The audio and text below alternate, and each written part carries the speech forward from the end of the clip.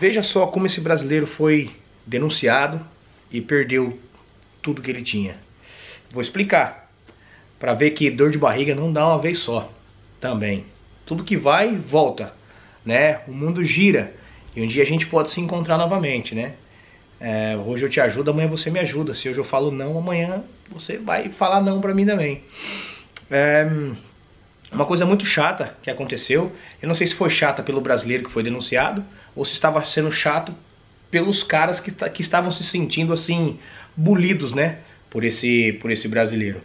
O que aconteceu foi o seguinte: imagine uma pessoa que está aqui no Reino Unido, ela é saudável, só que ela aplica para um benefício alegando para o governo que não consegue arrumar emprego, ela aplica para um benefício e começa a receber mensalmente.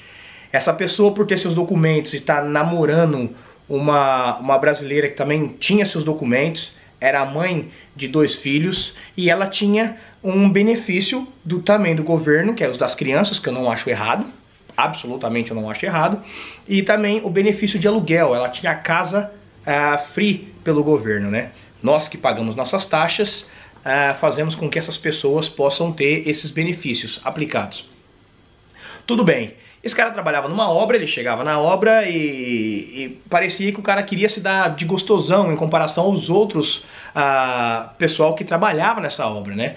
E muitas vezes ele ficava falando, é, vocês são tontos, porque vocês, é, a rainha paga tudo pra mim, a rainha me dá isso, a rainha me dá aquilo. Quer dizer, as pessoas que trabalhavam honestamente ali, é, todo dia, se sentiam ofendidos porque o cara, o gerente às vezes pedia para ele fazer hora extra, o que, que ele falava? Se você me pagar em cash, eu venho trabalhar. Se você não me pagar em cash, eu não posso trabalhar, senão eu vou perder o meu benefício.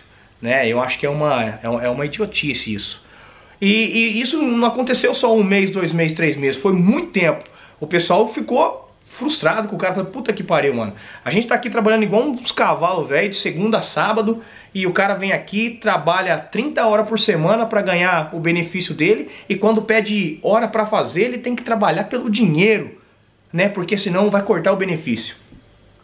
Mal sabia esse cara que aqui no Reino Unido tem uma hotline, uma hotline, um número que eu não vou colocar aqui, se alguém precisar do número, vai no Google e pegue.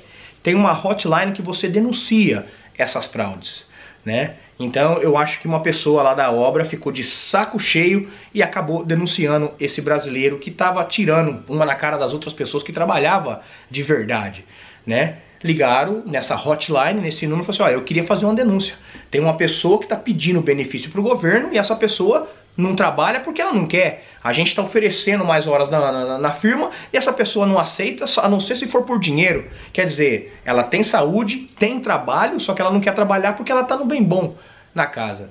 Descobriram, o governo começou a investigar. Depois de três meses, a mulher perdeu a casa. Não perdeu o benefício das crianças, porque é, qualquer pessoa que, te, que tem filho aqui pode aplicar pelo Child Benefits e a criança vai conseguir o, o, dinheirinho dela todo mês, de quatro em quatro semanas, né? O que os pais vão fazer com o dinheiro enquanto a criança for pequenininha, nós não sabemos e não podemos falar nada, né? Aí vai da cabeça de cada pai e de cada mãe.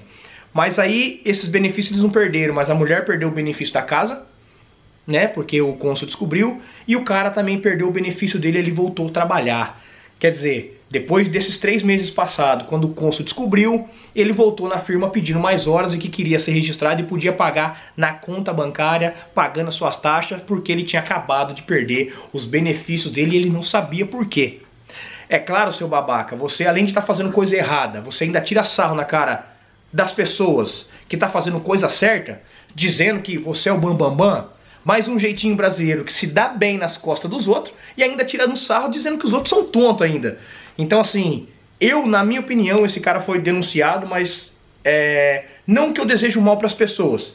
Mas quando uma pessoa faz uma babaquice e se dá lá na frente, desculpa galera, não que eu vá bater palma, mas eu vou falar assim, ó, pelo menos uma coisa certa, a gente tá vendo que, que aconteceu aí, né? Então, o cara foi, foi denunciado e perdeu tudo, cara. E... Mas é isso aí. Então, uh, eu, não, eu não quero colocar esse número aqui de, de, de, hotline, mas se um dia alguém quiser fazer a mesma coisa, que eu não acho errado, desculpa, gente, eu sou sincero. Se a pessoa estiver é, agindo de má índole, procure esse hotline e também faça isso, porque eu acho que a gente tem que vir, pra, o país já dá uma oportunidade para nós legal pra caramba, entendeu? Aí a gente chega aqui e fica aplicando para benefício. Outra coisa que eu acho do benefício, se eu sou uma pessoa que eu tenho saúde, né? Eu tenho minha família linda, maravilhosa. Para que, que eu vou aplicar para benefício? Você aplicando para benefício, você vai ficar numa zona de conforto.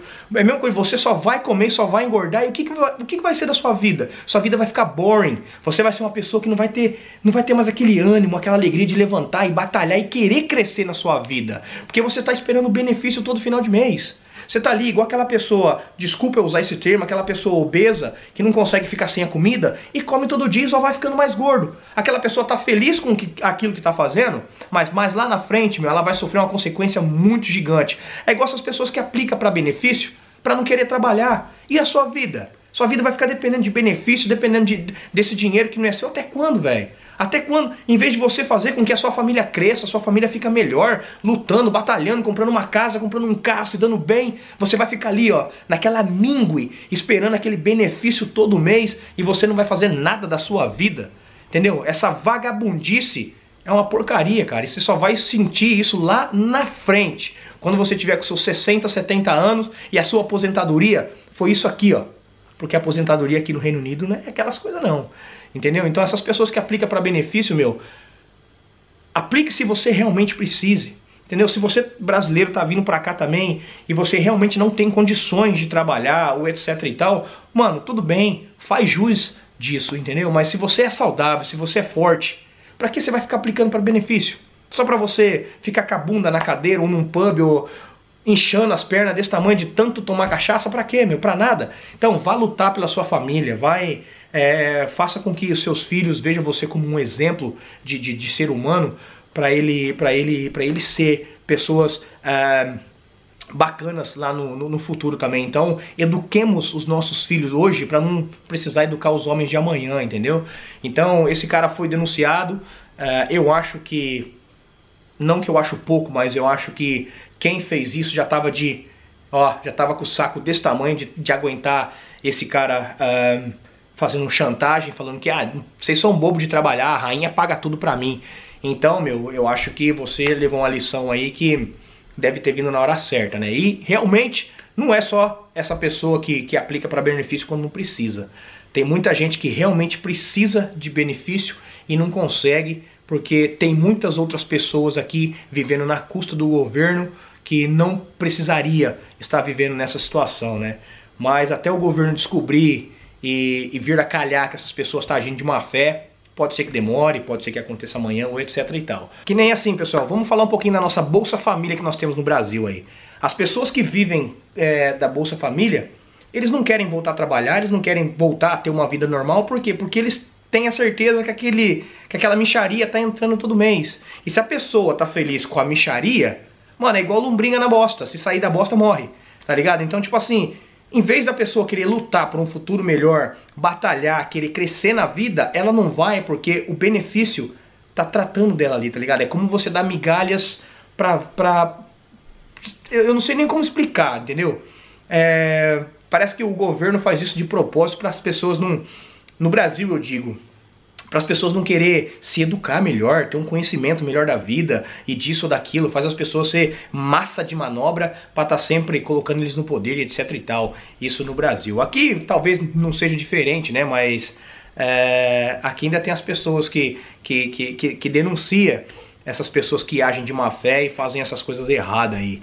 Então, essa é, essa é a minha opinião sobre esse assunto, né? Desse cara que, que foi denunciado aí e acabou perdendo tanto o seu benefício quanto a esposa acabou perdendo o benefício da casa. Hoje os dois estão tá tendo que trabalhar e tudo que se um dia eles realmente precisar do governo, eles vão ser investigados a fundo para ter certeza se eles estão mentindo ou não. Então, galera, antes de agir de má fé num país que realmente as leis funcionam, pensa duas vezes de fazer isso. Beleza? E outra coisa, você tem saúde, mano. Deixa de tirar sarro dos seus companheiros de trabalho e vai ajudá-los, entendeu? Vai trabalhar também. Vai vai crescer na vida, vai ser alguém na vida, beleza? Espero que vocês tenham gostado da mensagem, espero que vocês tenham uh, recebido essa, essa informação aí. Mantenha isso na sua cabeça aí que um dia a gente vai saber se, né, vivendo aqui em Londres, se tem mais pessoas passando por isso ou que passou por isso. É, eu tô falando isso porque isso aconteceu muito próximo É, eu achei que é de grande valia a gente vir aqui passar esse tipo de informação, né? Porque o que a gente mais vê é pessoas querendo passar os outros para trás, é, jeitinho brasileiro aqui e ali, então é, é complicado isso aí, é complicado. Espero que vocês tenham curtido, deixa o seu thumbs up aí, deixa o seu comentário. E se você não é inscrito no canal ainda, se inscreva que vai ajudar a gente bastante. Beleza, pessoal? A gente vê no, se vê no futuro bem próximo aí, eu no próximo vídeo. Se Deus quiser, nas ruas, né, mostrando as paisagens, etc e tal. Porque eu tô cansado dessa, dessa febre, dessa, dessa gripe que eu tô aqui. Galera, um abraço, fica bem. Tamo junto, beijo no seu coração. Fui!